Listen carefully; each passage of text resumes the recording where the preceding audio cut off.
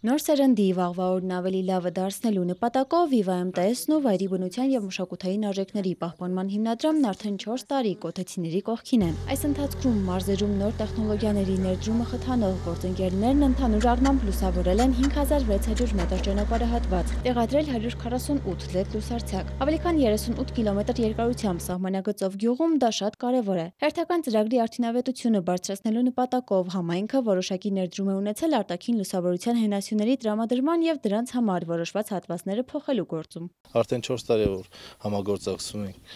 VNTS-ի հետ, լուծվել են բազում խնդիրներ, գյուղի առաջնային փողոցների լուսավորության խնդիրներ, որը ավարտելուց հետո արդեն ասել ենք թաղամասի երկրորդային նշանակության փողոցների լուսավորման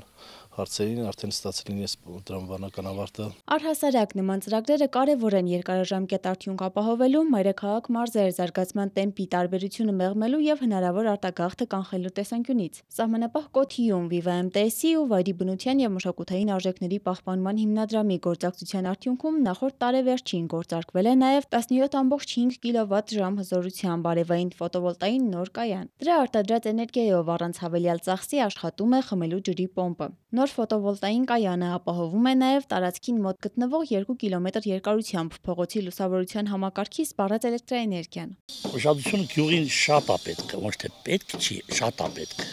Կա ուշադրություն, բայց դե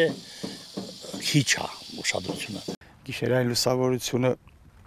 ամենաառաջինը մեր համար ամենաշատ կարևորն է, որ մեր դիրքերից է գյուղում լույսերի քանակների ավելացումը ամենամեծ կարևորությունը մենք դրան դրան ենք տալի, բայց մեր առօրյա ապրելակերպի մեջ էլ իհարկե դրական փոփոխությունները շատ լավ Որպես տեղեկատվական ու հեռահաղորդակցային ընկերություն Viva MTS-ն աջակցում է համայնքներին տեխնոլոգիական ու ծախսարդյունավետ ենթակառուցվածքների ներդրումով, բնապահպանական, էներգախնայող ժամանակակից տեխնոլոգիաներ կիրառելով, ինչի շնորհիվ սպառվում է 80%-ով պակաս էլեկտրաէներգիա, ապահովելով ավելի բարձր լուսատվություն։ Ալիսա Մալքոնյան, Երկիրն այսօր։